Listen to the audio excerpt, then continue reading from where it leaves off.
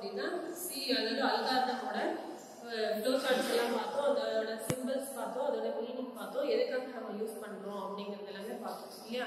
சரி நெக்ஸ்ட் வந்து சி வந்து இன்ட்ரடியூஸ் பண்ணவங்க யாரு? டென்னிஸ் வச்சு நைன்டீன் செவன்டி டூல இன்ட்ரடியூஸ் பண்ணாங்க. நெக்ஸ்ட் நைன்டீன் செவன்டி எயிட்ல வந்து என்ன பண்ணாங்க? டென் தாம்சன் அப்படிங்கிறவங்க வந்துட்டு இன்னும் கொஞ்சம் அட்வான்ஸ்டா யூஸ் பண்ணலாம். சி லாங்குவேஜை எல்லாருமே யூஸ் பண்ணலாம் அப்படிங்கிற ஒரு பிளாட்ஃபார்ம் லாங்குவேஜ் இண்டிபெண்டன்ட் லாங்குவேஜ்ங்கிறத அவர் இன்ட்ரடியூஸ் பண்ணாரு.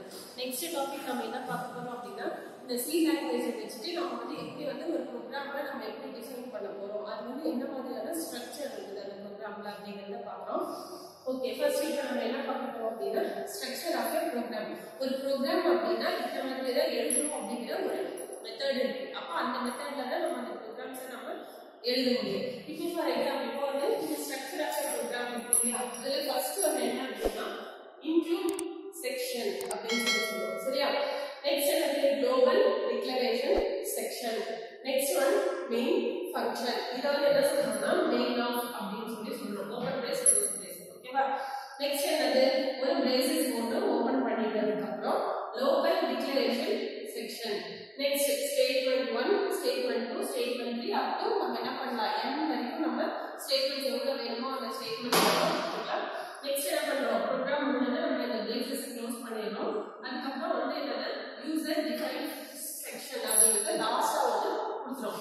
யூசர் அப்படிங்கிறது யாரு யார் வந்து அந்த ப்ரோக்ராம் எழுதுறாங்களோ அவங்க தான் வந்து யூசர் ஆர் ப்ரோக்ராமர் எது வேணாலே சொல்லலாம். அப்போ இது யூசர் டிஃபைன் செக்ஷன் அப்படின்னு சொல்லுவோம் ஃபர்ஸ்ட் ஒன் பை ஒன்னா இந்த ஸ்டேட்மெண்ட்ல இருக்குது ஒன் பை ஒன்னா என்னென்ன அப்படிங்கறத நம்ம பார்க்கலாம் ஃபர்ஸ்ட் ஒன் வந்து இன்க்ளூட் செக்ஷன் அப்படின்னு சொல்றோம் அந்த இன்க்ளூட் செக்ஷன் என்ன சொல்லலாம்னா இன்க்ளூட் ஆர் ஹெட்டர் செக்ஷன் அப்படின்னு சொல்றோம் ஹெட்டர் அப்படிங்கிறது என்ன ஃபர்ஸ்ட் பாயிண்ட் அதாவது ஸ்டார்டிங் பாயிண்ட் தான் நம்ம என்ன சொல்றோம்னா ஹெட்டர் செக்ஷன் அப்படின்னு சொல்லி சொல்றோம். அந்த ஹெட்டர் செக்ஷன்ல என்ன இருக்கும் அப்படின்னு சொல்லி பார்த்தோம்னா எல்லாமே வந்து ப்ரீ டிஃபைன் ஃபங்க்ஷன்ஸா ஆல்ரெடி ஸ்டோர் பண்ணி வச்சிருப்பாங்க. நாம எதுவுமே புதுசா போட தேவை கிடையாது. ப்ரீ டிஃபைன் அப்படிங்கிறது ப்ரீனா என்ன? முன்னாடி அப்போ முன்னாடி அதை டிஃபைன் பண்ணி வச்சிருப்பாங்க. அதுக்கு உண்டான ஸ்டேட்மெண்ட்ஸை மட்டும்தான் நம்ம எடுத்துக்கிறோம். ஓகே இப்போ லைப்ரரி ஃபங்க்ஷன்ஸ் அப்படின்னா என்ன? அப்படின்னா லைப்ரரி அப்படின்றது என்ன? குரூப் ஆஃப் புக்ஸ் எல்லாமே வந்து நம்ம என்ன ஜென்ரலாக ஒரு லைப்ரரினா என்ன சொல்லுவோம்? எல்லா வகையான புக்ஸும் வந்து அந்த லைப்ரரிக்குள்ள இருக்கும். நமக்கு என்ன தேவையோ அதை மட்டும் நம்ம எடுத்து படிக்கணும் பார்க்கலாம் அந்த மாதிரி யூஸ் பண்ணுவோம் இல்லையா? சேம் ஆஸ் அதே மாதிரி தான் இங்க வந்து இன்க்ளூட் ஹெட்டர் செக்ஷன்ல லைப்ரரி ஃபங்க்ஷன் அப்படிங்கிறது என்ன அப்படின்னு சொன்னோம்னா இதுக்கு நேம் வந்து ஆஷ் அப்படின்னு சொல்லுவோம். ஸ்லாஷ் சரியா? ஆஷ் இன்க்ளூட் இது வந்து open bracket STDIO dot H அப்படிங்கிறது என்ன அப்படின்னு சொல்லி சொன்னோம்னா stands for for standard is standard i for input, o for output. அப்படிங்கிறது அர்த்தம். டாட் ஹெச் அப்படிங்கிறது என்ன அப்படின்னா இந்த ஹெச் தான் வந்து ஹெட்டர் ஃபைல் அப்படின்னு சொல்லி சொல்றோம். சரியா? ஹெச் அப்படிங்கிறது என்ன?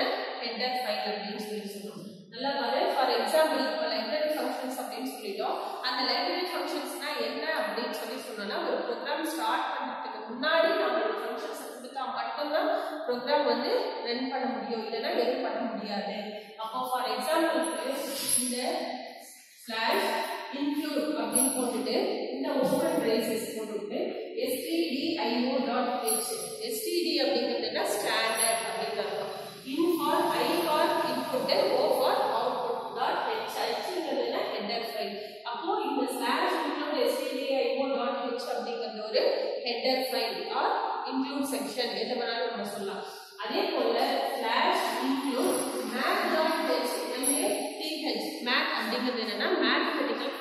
அப்படின்னு சொல்றோம்.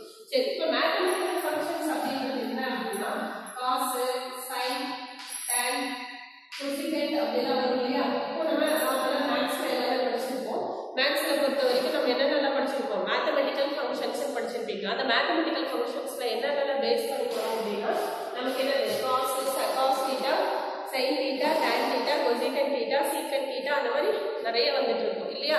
இப்போ அதெல்லாம் வந்து என்ன சொல்றோம் அப்படின்னா மேத்தமெட்டிக்கல் ஃபங்க்ஷன்ஸ் அப்படின்னு சொல்றோம் நம்ம வந்து ஒரு மேத்தமெட்டிக்கல் ஃபங்க்ஷன்ஸ் அதாவது ஒரு ஸ்கொயர் ரூட் கண்டுபிடிக்கிறது இல்ல ஒரு ஃபார்முலாவில் வேற ஏதாவது ஒரு சப்ஸ்டியூட் பண்ணணும் அப்படின்னு சொன்னோம்னா நமக்கு எந்த இன்க்ளூட் ஃபங்க்ஷன்ஸ் தேவை அப்படின்னா இந்த மேத்தமெட்டிக்கல் ஃபங்க்ஷன்ஸ் நமக்கு தேவை ஓகேவா அப்போ அந்த மேத்தமெட்டிக்கல் ஃபங்க்ஷன்ஸ் இருந்தால் மட்டும்தான் நம்மளால என்ன பண்ண முடியும் அப்படின்னு சொன்னால் அந்த வகையான ப்ரோக்ராம்ஸ் எல்லாத்தையும் நம்மளால சால்வ் பண்ண முடியும் அப்படி இல்லை எனக்கு மேத்தமெட்டிக்கல் ஃபங்க்ஷன்ஸ் சொல்லி விட்டுட்டா நார்மலான இந்த ஸ்டாண்டர்ட் இன்புட் அவுட்புட் ஃபங்க்ஷன்ஸ் மட்டும் நம்ம கொடுத்துக்கலாம் ஐ அப்படிங்கிறது என்ன இன்புட்ஸ் நம்ம கொடுக்கறது. ஓ என்னன்னா அவுட்புட் வர்றது. அப்போ இன்புட் ஃபங்க்ஷன்ஸ் அவுட்புட் ஃபங்க்ஷன்ஸ் கொடுத்தா மட்டும்தான் என்ன பண்ண முடியும்? அந்த சிஸ்டம்ல நம்ம ப்ரோக்ராம் ரன் பண்ணும்போது எனக்கு நான் கொடுக்குற இன்புட்ஸும் நான் கொடுக்குற அவுட்புட்ஸ் எல்லாமே நமக்கு கிளாரிஃபை ஆகி வெளியே வரும். அப்போ ஃபர்ஸ்ட் இன்புட் ஹெட்டர் ஃபங்க்ஷன் ஓகேவா புரிஞ்சா நெக்ஸ்ட் என்னன்னா global declaration section global declaration section அப்படிங்கிறது என்னன்னா டிக்ளரேஷன் அப்படிங்கிறது என்ன?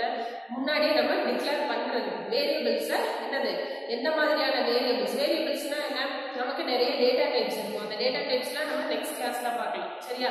எந்த வகையான டேட்டா டைப்ஸ் அப்படிங்கிறதெல்லாம் நம்ம வந்து நெக்ஸ்ட் தான் பார்க்க போறோம்.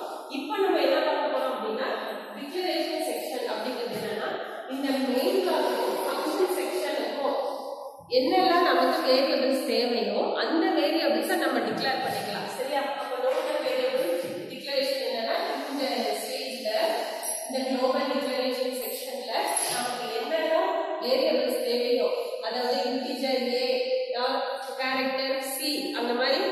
டைப்ஸ் உண்டான வேரியபிள்ஸ் என்ன தேவையோ அதை நம்ம மென்ஷன் பண்ணிக்கலாம். எப்போ இந்த குளோபல் டிக்ளரேஷன் செக்ஷன்ல this section must be optional optional அப்படிங்கிறது என்ன தேவை இருந்தா போட்டுக்கலாம் தேவையில்லைன்னா விட்டுறலாம். ஆப்ஷனல் அப்படின்னா வேணும்னா தான் பண்ணணும் வேண்டாம் அப்படின்னா நம்ம அது தேவை கிடையாது. அப்போ நீங்க இந்த ப்ரோக்ராம் எழுதும்போது இந்த டிக்ளரேஷன் குளோபல் டிக்ளரேஷன் செக்ஷன் வேணுமா இதை போடலாம் வேண்டாம் அப்படின்னா இந்த செக்ஷனை விட்டுக்கலாம் so this is one is optional அதுக்காக இந்த ஃபங்க்ஷன் ஆப்ஷனல் நம்ம மென்ஷன் பண்ணிடலாம் ஓகே நெக்ஸ்ட் என்னது மெயின் ஃபங்க்ஷன் நெக்ஸ்ட் ஃபங்க்ஷன் என்னது மெயின் ஃபங்க்ஷன் அப்போ ஒரு ப்ரோக்ராம் வந்த உடனே இந்த மெயின் ஃபங்க்ஷனை பார்த்ததுக்கு அப்புறம் தான் என்ன பண்ண முடியும்னா ஒரு ப்ரோக்ராமை எக்ஸிக்யூட் பண்றதுக்கே போகும் ஃபர்ஸ்ட் ஹெடர் ஃபைல் இருக்கான்னு பார்க்கும் அடுத்தது ஏதாவது வேரியபிள்ஸ் கொடுத்துருக்கீங்களான்னு பார்க்கும் நெக்ஸ்ட் இந்த மெயின் ஃபங்க்ஷன் பார்க்கும் அப்போ மெயின் ஃபங்க்ஷன் எக்ஸிக்யூட் ஆகாது கம்பைல் ஆகாது. அப்போ ஒரு ப்ரோக்ராம் நீ எழுதணும் அதை கம்பைல் பண்ணணும்னா உனக்கு என்ன தேவை அப்படின்னா இந்த main function should be first கண்டிப்பா இந்த மெயின் ஃபங்க்ஷன் வேணும். அதுதான் வந்து இந்த function okay next local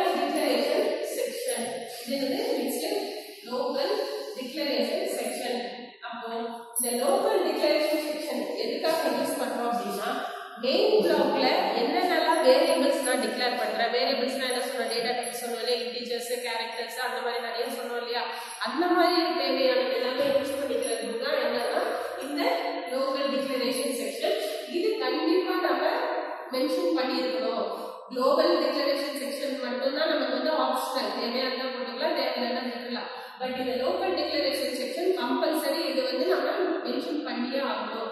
இது இல்லை அப்படின்னு சொன்னால் எந்த விதமான ப்ரோக்ராம்ஸும் நம்மளால ரன் பண்ண முடியாது. இன்புட் கொடுக்க முடியாது அவுட்புட் வராது.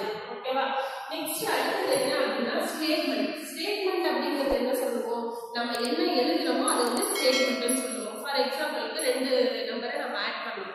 ஏவுக்கு ஒரு வேல்யூ பிக்கு ஒரு வேல்யூ ஆட் பண்ணுவோம் அப்படி என்ன பண்ணுவேன் integer A equal to B அதாவது A comma B comma C A equal to ten B equal to ten அப்படின்னா ரெண்டுத்தையும் ஆட் பண்ணி எனக்கு சில என்னன்னு ஸ்டோர் ஆகும் டென் பிளஸ் டென் டுவெண்ட்டி அப்படிங்கிற ஒரு நம்பர் ஸ்டோர் ஆகும். அதுதான் வந்துட்டு ஸ்டேட்மெண்ட் அப்படின்னு சொல்லி சொல்லுவோம் சரியா? அந்த ஸ்டேட்மெண்ட் வந்து எப்படி இருக்கணும்னா ஒன்று ரெண்டு மூணு மட்டும் இருக்க தேவையில்ல. அப் டு என் வேல்யூஸ் வரைக்கும் நமக்கு இருக்கலாம். நெக்ஸ்ட் என்ன பண்ணுறோம் இந்த பிரேசஸ் க்ளோஸ் பண்ணணும். இங்கே மெயின் கண்ட்ரோல் ஓப்பன் பண்ணுறோம் இங்கே வந்து க்ளோஸ் பண்ணுறோம் அப்போ இது ஓப்பன் பண்ணால் மட்டும்தான் வந்துட்டு என்ன பண்ண முடியும் நம்ம? ஓபன் பண்ணிருக்கிறது க்ளோஸ் பண்றோம். அதே மாதிரி எத்தனை ஓபன் பிரேசஸ் ஓபன் பண்றோமோ அத்தனை க்ளோஸ் பிரேசஸ் பண்ணா மட்டும்தான் ப்ரோக்ராம் ரன் பண்ண முடியும். இல்லைன்னா எரர் காட்டும். நெக்ஸ்ட்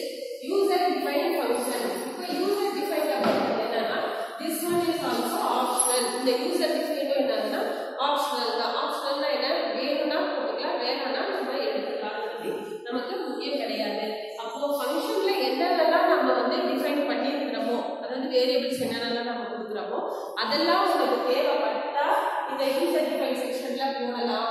இல்லை அப்படின்னு சொன்னா இதோட ஸ்டாப் பண்ணிக்கலாம். இதுக்கு மேல எனக்கு எதுவுமே போடணுங்கிறது அவசியம் கிடையாது. ஓகேவா? இப்போ ஸ்ட்ரக்சர் ஆஃப் ப்ரோக்ராம் அப்படிங்கிறது three mark or five mark கொஸ்டின்ல கேட்பாங்க. கேட்கும்போது நீங்க ஜஸ்ட் இந்த ஸ்ட்ரக்சரை மட்டும் ஃபாலோ பண்ணி எழுதுனா போதும். ஓகேவா? இதை எழுதிட்டு இன்க்ளூட் செக்ஷன்னா என்ன? நெக்ஸ்ட் குளோபல் டிக்ளரேஷன்னா என்ன? Next main function local declaration statement user define section இதை மட்டும் நம்ம மென்ஷன் பண்ணி எழுதிட்டா போதும். இது வந்து just three mark or five mark question கேட்பாங்க. நெக்ஸ்ட் வந்து இந்த உண்டான ஒரு ப்ரோக்ராம் வந்து எப்படி நம்ம டிஃபைன் பண்றோம். என்ன